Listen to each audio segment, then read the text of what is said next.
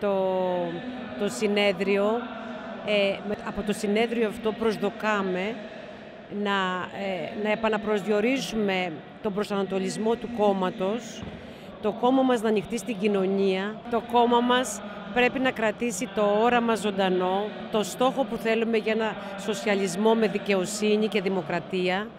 και αυτό μπορεί να γίνει όταν θα ανοιχτεί στις μάζες, θα ανοιχτεί στον κόσμο και στο λαό. Το κόμμα πρέπει να στηρίζει την κυβέρνηση, να ασκεί κριτική, να ελέγχει και να κρατά το στόχο ζωντανό.